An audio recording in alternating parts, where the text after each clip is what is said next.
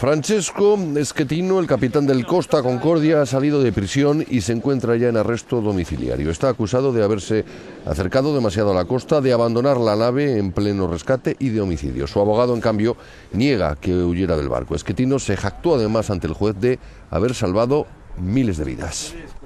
Rivendicando quello che. Él reivindica su papel en la maniobra de control del barco tras el impacto. En su opinión, y no es solo la suya, la manera en la que actuó contribuyó a salvar cientos o incluso miles de vidas. ha prodotto il risultato di eh, salvare centinaia se non migliaia di vite umane.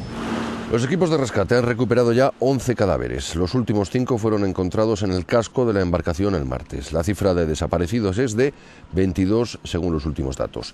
Las labores de búsqueda van a seguir, aunque las posibilidades de hallar supervivientes son escasas. El plan es continuar con el rescate, seguir buscando a las personas eh, que están desaparecidas. Pensamos que podemos encontrar a más gente en la zona donde hemos encontrado a los cinco últimos. La siguiente fase es qué hacer con el crucero. Reflotarlo, al parecer, resultaría muy caro y complicado. Queda, pues, la opción del desguace.